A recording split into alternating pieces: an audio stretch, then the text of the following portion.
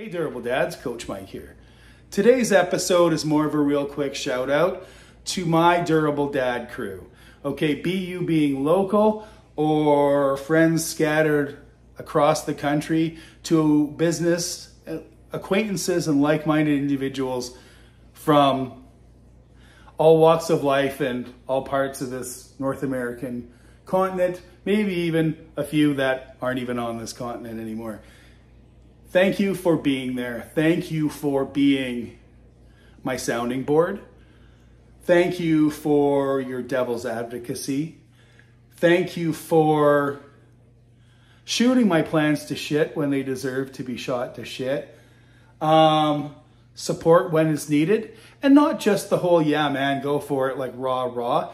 Actual support when you they see you struggling to get someplace and they're able to take their own experience uh, and, and band together to help you get there. And you do the same for them at the drop of a hat. This is how a support network's supposed to work.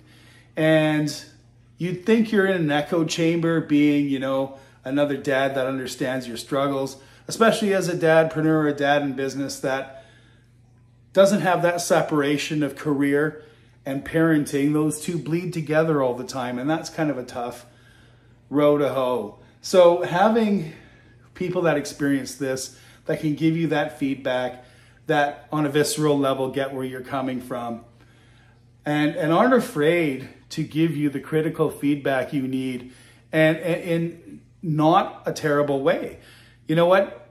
Critique stings and nobody likes it but it's necessary. And how it's done, and if it's done in that kind of a, a proper environment, is a whole lot easier to take. So you guys know who you are. Thank you for being there.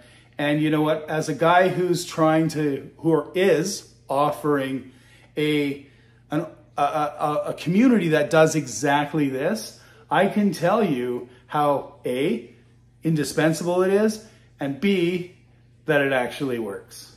Okay, peace, kings.